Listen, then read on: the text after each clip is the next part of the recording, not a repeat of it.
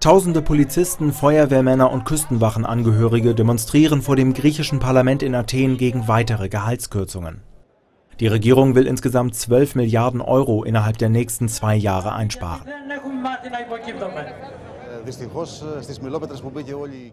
Leider sind wir in der gleichen miserablen Lage wie der Rest der griechischen Gesellschaft. Doch nicht nur unser Einkommen ist betroffen. Gelder für unsere Ausrüstung wurden drastisch gekürzt. Das geht bis zu dem Punkt, dass wir manchmal nicht genügend Polizeiautos oder technische Ausrüstung zur Verfügung haben, um unsere Arbeit zu tun und die Bürger zu beschützen. Keine weiteren Kürzungen mehr. Es reicht, steht auf den Bannern der Demonstranten. Die Gehälter im öffentlichen Dienst waren in der Vergangenheit bereits durchschnittlich um rund ein Drittel gekürzt worden.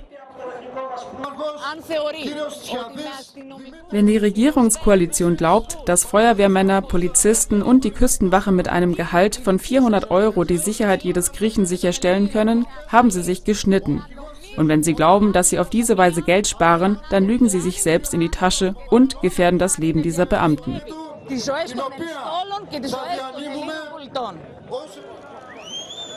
Diese drei Männer stehen symbolisch für die Stimmung im öffentlichen Dienst Griechenlands. Die Troika aus EU, Internationalem Währungsfonds und Europäischer Zentralbank wird heute das Sparprogramm der Regierung unter die Lupe nehmen, um über weitere Hilfen zu entscheiden.